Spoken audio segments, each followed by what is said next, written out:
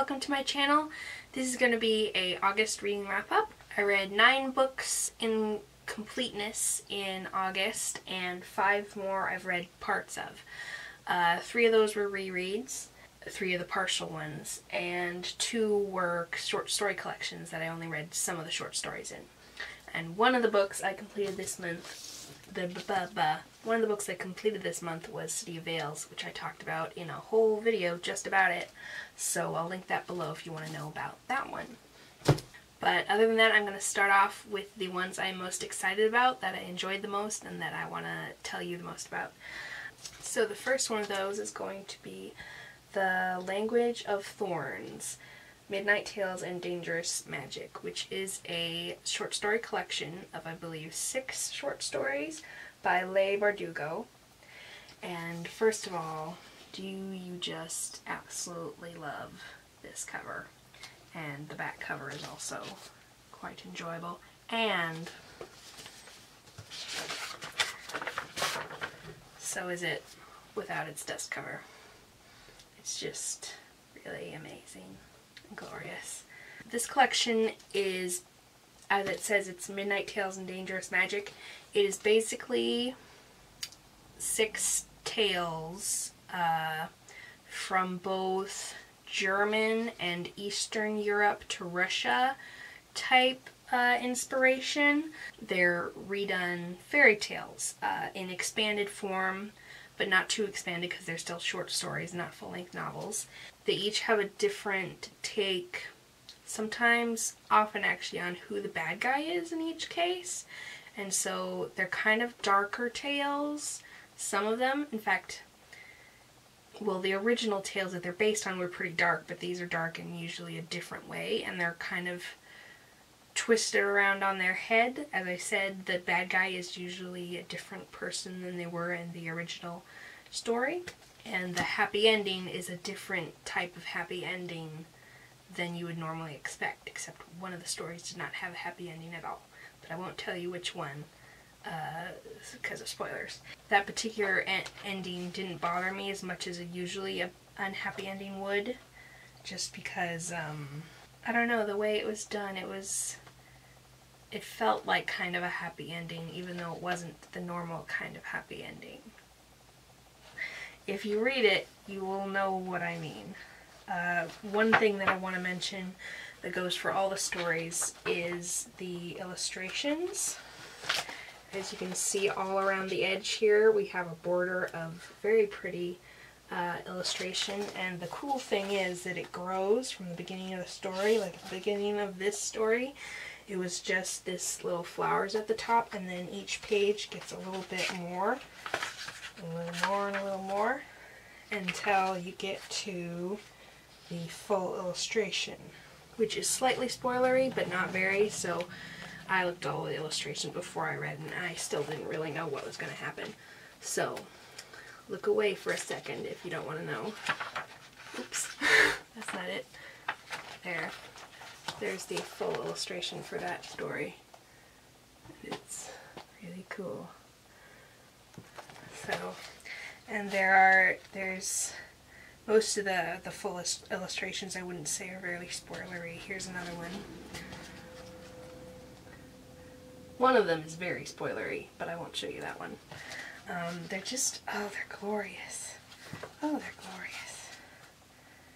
Here's one where they've grown from opposite ends of the page. This one has a uh, you can see a castle with a maze along the side. That one is a retelling of the Minotaur story with the where the Minotaur is in the labyrinth. Really creative. And I also liked that they were um, stories from, they're ones that you're familiar with most of the time, but not as familiar as we are with Hans Christian Andersen ones, although one of them is. One of them is based on um, Little Mermaid, very vaguely. It's actually a prequel to mermaid type story. Anyway, but most of them are, they're not like Cinderella, Snow White, those uh, ones. There is Hansel and Gretel, kind of. There's a Hansel and Gretel inspired one, but um, the other ones, there's the Minotaur. There's one that I've never actually heard before, which is about a fox who is a clever fox, and he uh, escapes from hunters and stuff. So I don't know uh, where that one came from, but it's one I'm unfamiliar with. And then one is about, it's kind of based on the Velveteen Rabbit, apparently. But it was also kind of uh, very nutcrackery. The one with the water lady. I've never heard that story before, although it has some elements that are very, very much something that would happen in old tales. And I am actually really interested in from Eastern Europe into Russia, Russian type fairy tales, like a lot of the ones that are the basis for ballets, like Nutcracker and uh, Firebird, Swan Lake, those kind of things. Uh, I really am interested in those, partially just because they're unknown to me and also because there's a lot of really cool magic involved. And the Firebird, for example, is one that I had read to me in ballet class when I was a very small girl, and it uh, just really stuck with me. And so it's kind of near to my heart. So um, I really like hearing more tales from kind of that area that are different from the standard ones that get a lot of play. Oh, and one aspect that uh, is maintained from the origin of the tales into uh, several of these adaptations is the whole repetitive nature of some fairy tales, especially I've been reading online some Russian ones to try to get inspiration for the stories that I'm working on. And a big theme is three or more repetitive things that happen in order that are usually an escalation of each. Like something happens, like you wish, like uh, there's also a tale about a wishing fish type thing where a fisherman's wife wishes for grander and grander things because his wife is telling him to. And uh, eventually they end up in a palace, but the wife still isn't happy with that, so she has him go back and wish. And uh, finally, at the last wish, the goldfish or wish fish uh, sets everything back to the way it was.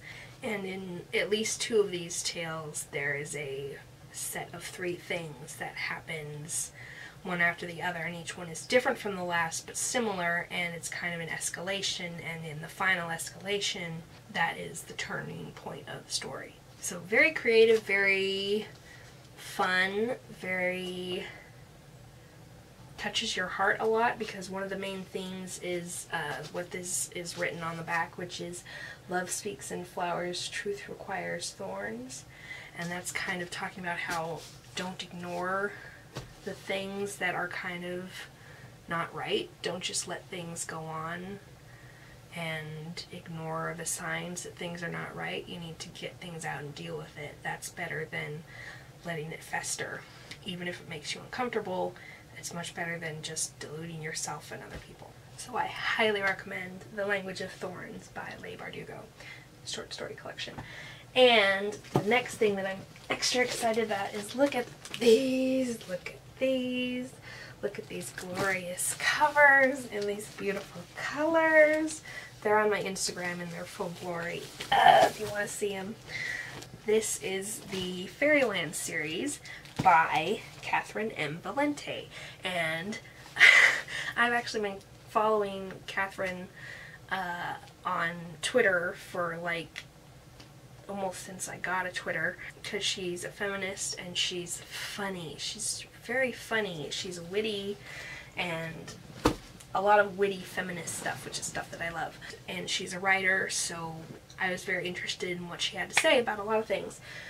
And I didn't realize when I picked this one up in my, it, it was in my um, library sale haul because of the really cool cover um, and the cool uh, name, The Girl Who Circumnavigated Fairyland in the Ship for Own Making, sounds, you know, like middle grade fantasy, and it was, and it, it Oh my gosh. Anyway, I didn't realize when I bought it that this was the author that I was, I didn't really look at the author's name and realize I really like her. So I didn't pick it up because of that, even though I knew of her before I picked it up. And I just have to say that there is a special sort of joy that comes from liking someone as a person and then finding out that you also like them as an artist or as a as a writer because uh, this this the writing the how she expresses things is just glorious it's the The narrator is omniscient and just the way it's narrated is so glorious. I'm gonna read you a little bit. I can, uh, let's see. Papers, the gargoyle thundered. Portress rattled along the earthen walls. Its breath was smoky and hot, and in its mechanical jaw a steel tongue rattled. September shrank back against the leopard, the force of the gargoyle's breath pushing at her face. Betsy Basilstock, you come out of there this second, the green wind hollered back, though not quite so loud, having no leather bellow lungs to help him along. That's just a little bit that I found on the fly, but it just, the whole thing is written that tightly and that not taking yourself too seriously. As has been said on some of her reviews, it's got a lot of Wizard of Oz vibes and Wonderland, Alice in Wonderland vibes in that everything is crazy and doesn't make sense and doesn't have to make sense. Uh, but also much less creepy than either of those because I hated those both when I was a kid. They're creepy. These are not creepy. They're very enjoyable and very creative and crazy and just the best best that Fairyland could be. I'm more of an epic fantasy type writer where it, um, although, is this epic fantasy? I don't know. Anyway, I like my stuff to make sense. But I like, I definitely enjoy reading this even though it doesn't make sense. There's a lot of stuff like, uh, things that are bigger on the inside than the outside, that kind of doesn't make sense. Not doesn't make sense with the rules that it's established. She does a good job of that. It's like having crazy rules. Doctor Who-ish. It's kind of Doctor Who-ish, where it works within its own rules, but they don't make any sense to anybody else. I hate bigger on the inside things. They hurt my brain, which is why I wish that I would have read these when I was a little kid because I could have more fully appreciated that because I didn't have didn't have nearly as much of an issue with bigger on the inside type uh, logistics. um, now that I'm older, I feel the need to wrap my head around things, but I still totally appreciate these books. It doesn't, I don't think I appreciate them as fully as I could have as a child. I would have liked my early childhood imaginings to be shaped by these. So in that way I wish that I read them when I was younger, but I don't at all feel that I can't enjoy them anymore. Uh, they're they're wonderful. I love them so much. So there's a total of five books. Besides The Girl Who Circumnavigated Fairyland in a Ship of Her Own Making, the next one is The Girl Who Fell Beneath Fairyland and Led the Revels There. Then there's The Girl Who Soared Over Fairyland and Cut the Moon into The Boy Who Lost Fairyland and The Girl Who Raced Fairyland to All the Way Home. I really liked all of the side characters. I like it starts out with one main character who then meets two more who become her main cohorts. And I do like myself a trio. And uh, they do all have their own skills that make them good at different aspects of questing type things, which I also appreciate. And they have very distinct personalities. They're just cute. The little triad is just so cute. And all the side characters are so distinct and creative and I like them a lot. Um, like, uh, things went badly for a very minor secondary plot character, uh, pair of characters at the end of this one that you hadn't even seen or heard of for two books before that, and yet it touched my heart very much and I freaked out so much until I figured out in the next book that they were fine and okay and everything was restored and and I just that even those little characters, those little side characters who were hardly in it, were very important to me, and that's just a sub amount of how much all the all the characters were really important to me and touched my heart a lot. I loved all the side characters. The side characters were glorious and I cared about them a lot. This is one of those series where they have a very big theme of the good guys being having the bad guys having some evil inside and the good guys also um, not being so different from the bad guys as they think they are. And uh, so the, the main villain for the first book touched my heart a lot and oh, I have feels for her. Uh, there are two books that are set before the beginning of the series that um, Catherynne wrote, I believe after she'd finished all of them and uh, I'm very excited to read those. I just don't haven't got them yet. And they're both surrounding that evil character, one before she's evil and one after she's evil, so I'm very excited to read that.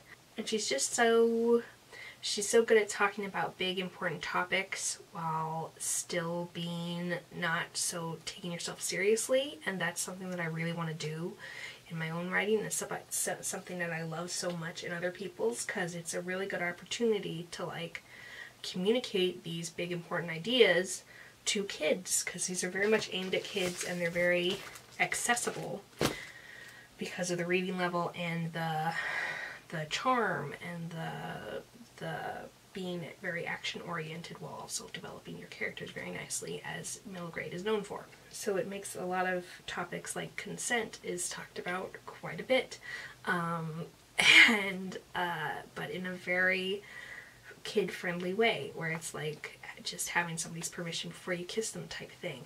And there's stuff about power and how uh, power corrupts and how and how hurt people hurt people, but also hurt people choose to hurt people and how it's still a choice. Even if there's a reason behind it, it's still a choice and all sorts of deep stuff like that. It's really glorious. And like this author is like coming up to the point of bumping Emily Rodda for my favorite author ever.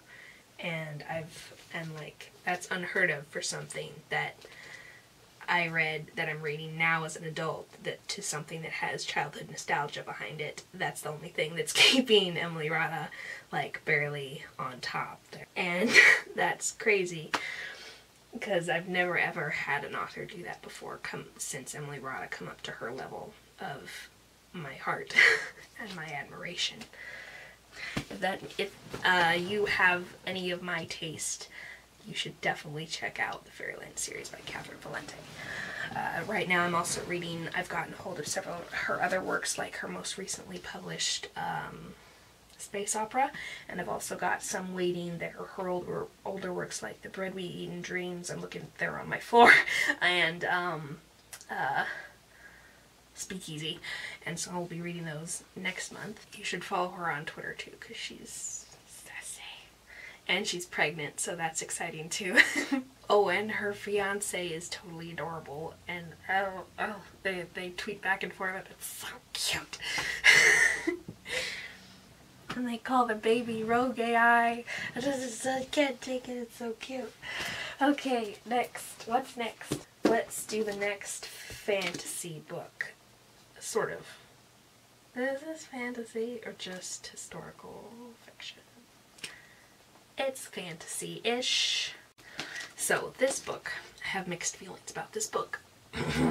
First of all, I didn't find out that it was the third in the series until I was three quarters of the way through it because as you can see uh, from the scumminess on it, it um, can't get that to focus. Anyway, the number on the side is cut was covered up by the library sticker when I bought it. So I didn't know. I finally looked at that uh, when I was three quarters of the way through it and found that it's the third in the series. Which makes more sense because there were some things that had happened before this that seemed like they should have a book written about them and not just be in the history, but there were books written about them because this is the third book. Second of all, I barely didn't DNF this right away because it starts with an action scene. And this author cannot write action scenes, at least at present. At or, or she doesn't care about, she seems to care about action scenes. She does them a fair amount. She's interested in them, in them and how they work, but she does it badly, very badly. and fight scenes are some of the things that I really love in books. So when a fight scene's done badly, it's very disappointing. Also, starting off that way, it made it seem like all her writing would probably be really bad. It really wasn't. Action scenes, fight scenes, are the only ones that are really terrible from this book. The rest of the scenes, like her, there's some where she's nursing her sister back to health, or other people, or there's um, talking to her mother, or uh, planning things or having uh, corruptions go on and things like that. Uh, those are all written just fine. And, but the, the fight scenes are just painfully, one, not knowing very much about how fighting works, particularly in this historical sense with the ninjas and the samurai, but also just with being just painfully awkward to read so, and this is the third book. Like, if it was her first book she'd ever written, it'd be like, okay, there's she's got some things to learn. But clearly, she's not. I mean, they could have possibly been even worse in the earlier books, but that's there should be progress made if something's that bad. Like, especially when fighting is such a major part of the series because it's all about Sisters of the Sword. It's all about these two girls who are learning to fight so that they can take back their country from their evil uncle and even survive trying to be killed by him, him trying to kill them. But I'm interested in the plot, I'm interested in the national intrigue going on, I'm interested in the characters. So I want I think I'm going to read the other books and just kind of skim the fight scenes. Next, I'm going to talk about Love in a Headscarf, which I read directly after reading City of Veils because I thought, why not? I'll read my two uh, uh, books about Muslim women in a row so that I get kind of the contrast and can kind of think about all those things I was thinking about for City of Veils in a different context, which this is once again Love in a Headscarf by Shelina Zahra Janmohamed and it is a memoir and it is basically the story of how this woman goes through a journey, both a personal journey and an outward journey of the different ways she looks for a partner, a life partner. She's a British, um, British Muslim, by the way. She, her, um, were her parents immigrants, or was it I think I think her parents were the immigrants. I think her parents were born in East Africa and India. Her family brought a lot of that culture with them, and so she's been raised in the dual cultures of she's got East African and Indian and uh, British cultures working on her, as well as uh, the Muslim religion. So she's got all those things in her history and the way she thinks about things. So we're taking through a journey of how she progresses through figuring that out and also through how she searches for a partner in different ways. So she starts off very traditionally with her Muslim family being involved in a matchmaker and the families having a big interview all together and then she gradually moves to less and less traditional ways of like asking guys out, doing online dating, uh, and eventually meeting people at like Muslim events like um, that are like conferences and things where they talk about issues. And she does stuff like she goes and climbs a mountain she goes and uh, tours around the Middle East and kind of sees the the area of her religion's origins she goes to Mecca and stuff like that and establishes herself as who she is and as an individual uh, while she's also looking for this partner. And there's a lot of really interesting stuff about uh, Islam in there and I I hadn't realized that the Quran actually retold a lot of stories from the Bible. I knew there was stuff about Muhammad, but I didn't realize, and I knew that they uh, had origins from tracing their ancestry, I believe, back to Abraham's other son, who wasn't Isaac, who was Ishmael, and stuff like that. But I didn't realize like that so many of the stories that I knew were in the Quran, but different. And reading the her retellings of the stories that I knew from childhood, but the Muslim version was very trippy. um, Mary did what now? And and stuff like that. It was really crazy. So uh, it was really interesting, and I really did not expect to find so much I had in common with this girl. The way that we think about God and the way I don't know, just so much of me and this woman's spirit is so similar and our how our journey how we thought about God is so similar it weirds me out a lot to find any person who had that much in common with me, let alone someone who's not even from my religion. Also, I really love her color scheme choice. I have a really pretty picture in Bookstagram of this one too. I love her outfit with the pink. I love it. Um, and she actually, an interesting thing about reading it right after I read this is that she talks a little bit about uh, the people in the Muslims in Arab countries and how she feels about them being forced to wear various things, whereas she's not forced. She chooses to wear them as an expression of her religion. and she also talked about something that I've been aware of, but um, as a very far from me type thing, which she talked about how Muslims were feared and mistreated after 9 11. She talked about that transition in her life before and after 9 11, how her life in public, at her job, and such was affected after that had happened. And she just talked about a lot about what she believed, and it was really interesting. So if you would like to know more about uh, that kind of thing, uh, totally pick it up. My battery is dying, so I might talk a little fast now. Uh, the next two I'm going to talk about are collections, and they happen to be both be Golden Green, which is cool. Uh, this one is the Mammoth Book of Fantasy, which has a bunch of short stories from people like Ursula K. Le Guin, Tanith Lee, Fritz Leiber, Theodore Sturgeon, Harlan Ellison, Michael Swanwick, Michael Moorcock, and more. And I've read several of these, and they were really interesting. And I'm really glad that I picked this up. Uh, I haven't read all of them, but the ones I read were weird and not your normal, not stuff I'm used like stuff I'm used to reading, but uh, each one has an introduction that talks about how this author in particular and also how um, how this particular story fits in with this author's the rest of their work and how this author affected the fantasy genre and how and how they were affected by it and that was really fascinating. I really liked Ursula K. Le Guin's story by the way, so I'm excited to read the rest of hers. Ursula K. Le Guin is someone I've become interested in after she died. Uh, so I'm very interested to pick up the rest of her works and I really like the one in here. If you are a writer or not a writer and or for some other reason are interested in the origins of the fantasy genre, totally pick it up. It's really interesting. And also, if you're a writer, you might be interested in different types of fantasy fantasy stories that aren't what we do now, but that were a part of the journey and you might want to pick some of those up to kind of be different from what's happening now but something that has been done before it might inspire you.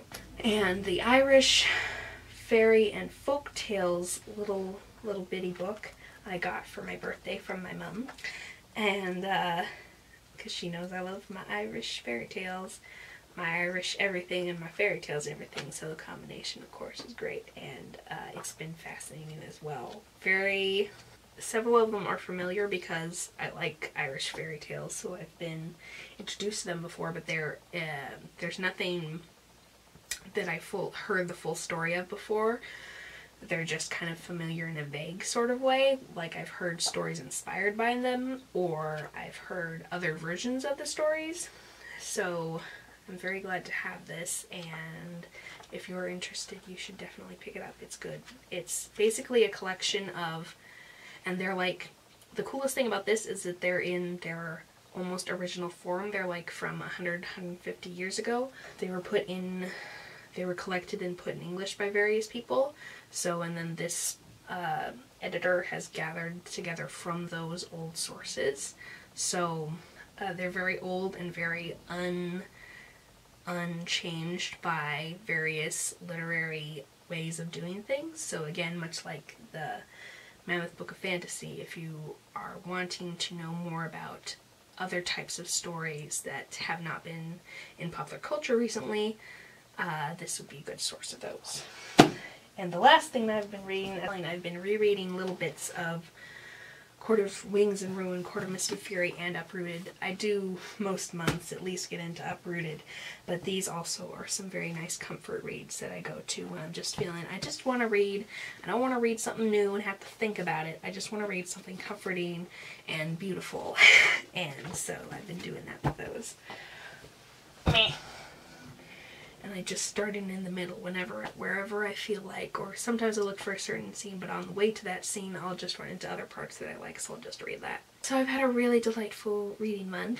Uh, if you've read any of these and have any thoughts, or have read any of the read any of these authors before, but not necessarily these books, uh, I would love to hear your thoughts. And also if you have recommendations based on what you might think I think I might like or what you think might help me branch out, I'd love to know about those too, so tell me in the comments.